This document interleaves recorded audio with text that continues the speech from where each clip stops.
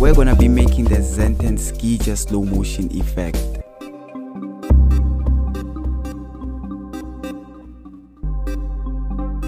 What? Yo, what's up? It's your boy Ambitious Kid. And guys, last time a big fan of mine asked me if I could do the Zanten Sgija slow motion effect on Caustic 3 which I'm going to be showing you guys right now how to do this cool sgija effect guys. Plus guys the good news is that I'm going to be giving away this hot Zanten project file to you guys for free. Yes guys absolutely for free. But guys before you download this hot Zanten project file make sure that you subscribe and watch this video carefully because in this video I'm going to be giving you guys the unlock password for this hot Zanten project file okay guys let's get right into this hot video okay guys so this is the hot zanten beat that we're gonna be working on. It sounds like this.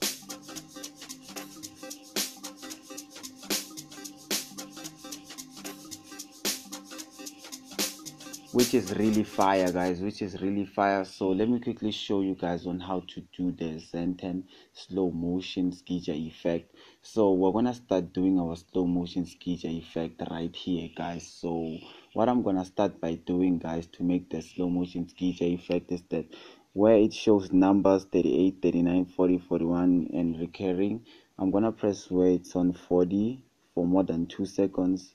And then what's gonna happen is that it's gonna show me these options these two options here where it says insert measures and set tempo key. What i'm gonna do is press set tempo key. And then here it says 102 which maybe let's say it's 105 i'm gonna take it to 102 based on where you put it on your beat and then i'm gonna set it to 102 and then once you're done you're gonna say set guys. So that's the first step. And then what we're gonna do now guys is that we're gonna start packing our beat like this.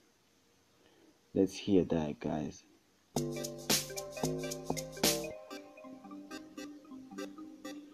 And then let's take some of this just like that. Let's take some of those and then put them there and let's see how it sounds like.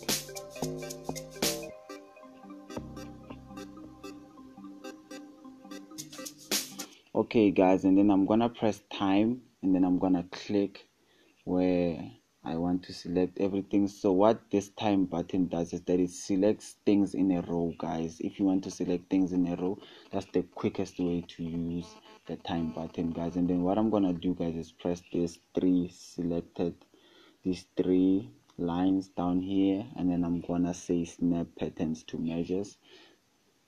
Enable that button and then I'm gonna go back. And then what I'm gonna do guys is that I'm gonna press this top thing that changes my instruments and then I'm gonna lower it like this so I can make a cool style.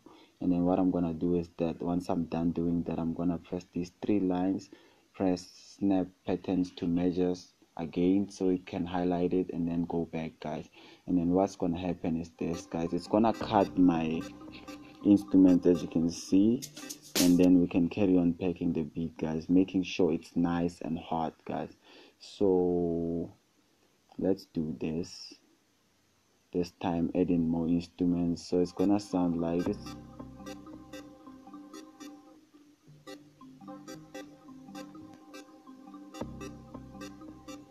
Let's hear that. And then guys what we're gonna do to add our final hot touch is that we're gonna click on the numbers again. I'm gonna click on here where it's where my beat ends and then i'm gonna click it for more than two seconds so that this thing can show up these options. I'm gonna say set tempo key and then guys i'm gonna press minus so that it can lower my tempo key. I'm gonna choose the lowest tempo key that i can find. Let's go to our let's go to 80 because it's gonna be really slow on 80 guys and then i'm gonna say set. So this is how it will sound like guys let me put it on 112 and let's hear how that will sound like guys. As you can hear it super hot guys super hot. And then guys what we're gonna do now is to make it more hotter guys by making it to come back and then hit harder guys. So what i'm gonna do is continue packing this hot beat like this we're gonna continue this just like this. I'm gonna make sure I add two more bars just like that.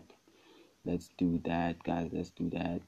And then what I'm gonna do guys is that I'm gonna click again here on the numbers again on the numbers graph again for more than two seconds. I'm gonna click set tempo key. This time I'm gonna take it back to 102 112 I mean guys cause we want it to go slow and then after going slow it should come back and hit hard again guys like the Amapiano effect that they actually do in FL Studio 20 we're gonna be doing it exactly on Caustic 3 guys. So we're gonna say set and then what's gonna happen guys is that we're gonna press this time thing again and then we're gonna use it to select this part of the beat and then we're gonna press this X in a page showing thing up there on the top left corner and then we're gonna say copy and then we're gonna paste it there guys and then we are done just like that guys. And then this is how our second piece will sound like. It's gonna start catching speed going faster and faster just like that guys. And then right now i'm quickly gonna show you guys what we made in a whole guys. I'm gonna put it on 102 then i'm gonna start playing it for you guys. Damn guys.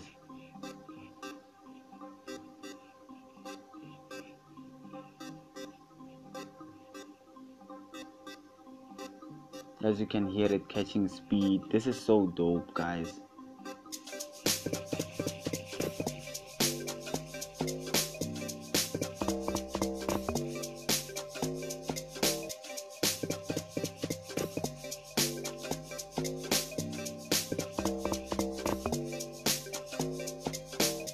this was a fire tutorial guys. This was a very hot tutorial that i made with you guys right now guys.